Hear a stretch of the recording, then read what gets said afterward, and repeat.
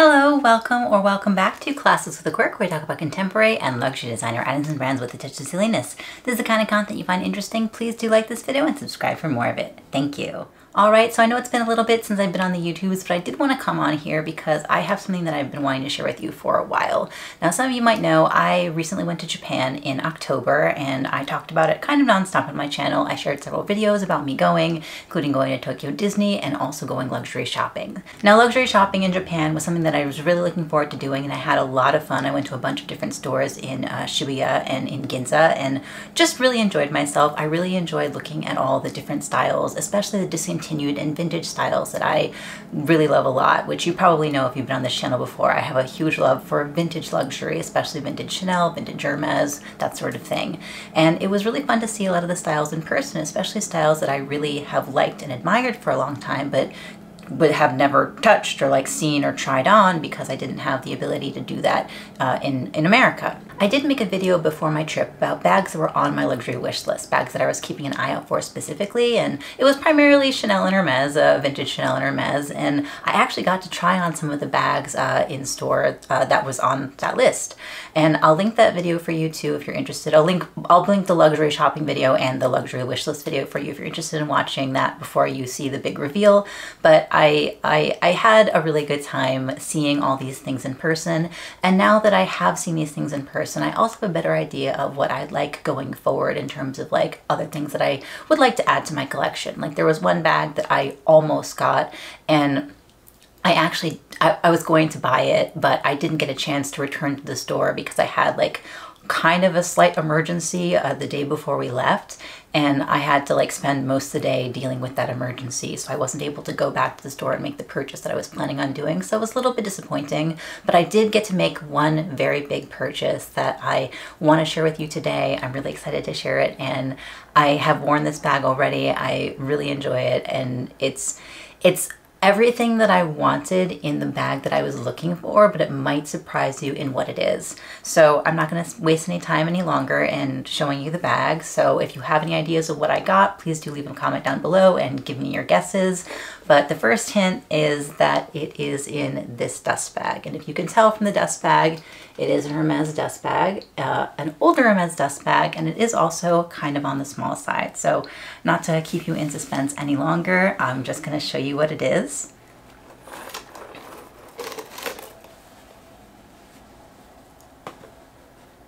And here's the bag. I think this bag is absolutely beautiful and I, am gonna show you all the little fun details about it, but this is the Alcazar bag from Hermes. It is a vintage Hermes bag. This particular bag is a, um, it's a Circle K, so it's from 1981, which I do greatly enjoy. I like these older bags that are older styles that you can't really, you don't really see them on the market. This is a very unique bag in my opinion, and it is so beautiful. So it's made of this beautiful box calf leather.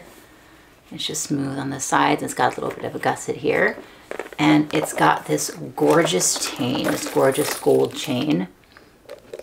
And this clasp over here, which is a fun little thing. Let's see. Here we go. Yeah.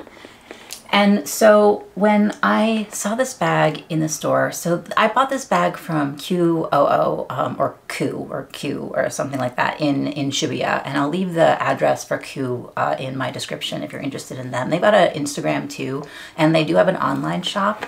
And I tried on, this was one of the first bags that I tried on. Now QOO or QOO, is set up that a lot of their things are behind glass. Now some of the other shops that I went to, the bags were on display so you could just touch them. But QOO, a lot of the bags are behind glass so you had to like ask to see each one individually and also to look at the prices. And so I was looking at the bags, but this was the, the bag that really drew my eye that I wanted to try on. So I like bothered the sales assistant and I asked if I could see the bag. And I liked it so much because the clasp was really interesting and it had this beautiful chain detail. Now, in my luxury wishlist video, which a little bit of spoiler for it if you haven't watched it yet, I really wanted an Hermes bag, a vintage Hermes bag in box calf leather with an interesting clasp because I think that the vintage Hermes hardware is so beautiful and I, I just really admire it. And it's hard, it's not something that's talked a lot so much as the vintage Hermes hardware, but there are some bags with some just really interesting clasp, like the, this Cordelier, the Sac Basco, the Odeon, the bags that I, I really liked and admired. And I really liked the Alcazar, but it was a very rare style. I've actually only seen the Alcazar um, in the Doblis, the uh, the suede version. I've never seen it in the box calf, and and certainly never in person. And I I saw this bag and I was just like, oh my gosh, look at that! It's so beautiful. I fell in love first sight, and I um, got it. I tried it on, and I, I did leave it in the store to think about it, but it was on my mind for the majority of the trip. And so when it was time to me for me to go back to the stores and make the purchase, this was the store that I went to first and this was the bag I went to first. And I, I'm so happy to get it. I still regret the fact that I didn't get the other bag. It was a vintage Chanel. Um, it was the uh, Chanel with the bijou chain uh, that I tried on. I'll, I'll pop maybe a picture or video up for you. Um, but I, I don't regret getting this. And if I had to choose between the two, I'm glad I got this one. This was actually a better price than the Chanel. The Chanel was listed at 59 5, 598,000 yen, so about $4,000. Um, that is with tax, it would be a little bit less expensive. It would be after, before, it would be with tax, not included, about 3,500, I think, or 3,700. And this bag was uh, 3350 and um, for what it is and the condition that it's in and the rarity of it like I thought that was a very good price. And so I just I, I did want to be transparent in prices and share that. It was 49 4 498,000 yen and that was uh, pre-tax and I didn't have to pay tax um, so I got it for 40 498,000 yen. So again about 3350 I didn't have to pay customs when I came into the States. Some people asked me if I was going to have to pay customs and I fully expected to, which is about 10%, but no one asked and I didn't say anything and then I didn't have to pay customs. So yay. Um, great. uh, just to give you some quick details of the bag, again, I wanted to show you this beautiful chain detailing. It is so gorgeous. It's so intricate. Um, it has a beautiful sound to it and the chain itself, I don't know if I'll be able to show you on camera, but it's got these little grooves in them that just that make them really sparkle. I believe that Hermes uh, hardware is um, gold plated as well, so I would not be surprised to find out this was gold plated. I don't know for sure, but I'm pretty sure it is. And like the, the yellowing of the gold also like makes me feel that it is. But the clasp is really what sold me on the bag. Like the chain and the clasp really sold me on the bag. So this is the clasp again. You see how it like kind of pulls out a little bit from the bag. And it's it opens in such a clever way. At first I wasn't sure how to open it and I was like, it feels stuck. But no, it's it's a mechanism. It's such an interesting mechanism. So basically, I'm gonna try to show you as best as I can here. So there we go. So the clasp goes up you hear that click and then it falls forward and then you can open up the bag like that.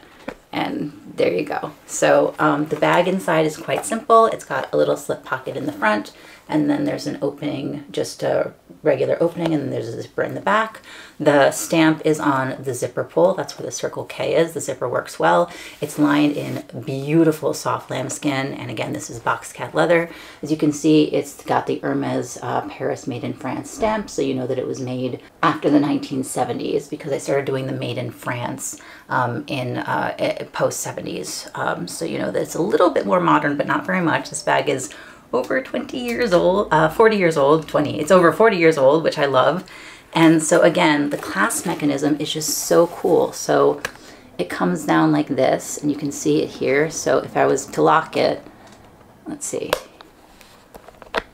and it locks in place. So it like pops up and then comes out. Yeah, it's just so neat. I love the clasp. I think it's so interesting and intricate and gorgeous.